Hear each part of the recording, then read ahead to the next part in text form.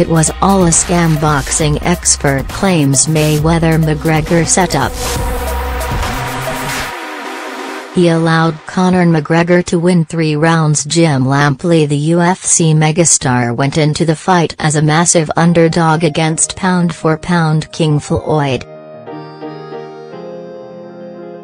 But the Notorious shocked everyone by taking the first three rounds and appearing to rough money Mayweather up on the inside.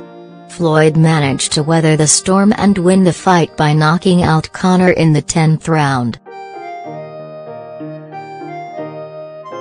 Ever since the mega fight, conspiracy theorists have claimed that Mayweather allowed McGregor to look strong early on in the fight.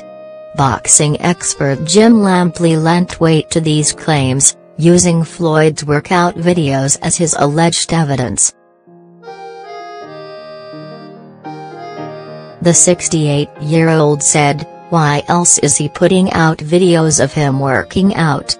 He allowed Conor McGregor to win three rounds. Why did the whole thing last 10 rounds? It's all a setup. Why should he retire? He created a marvelous scam with this whole thing. He allowed Conor to win three rounds, so the whole global MMA wish community could have something to latch onto. I think there's a decent chance. There's enough suckers out there, Floyd could maybe make another $150 million.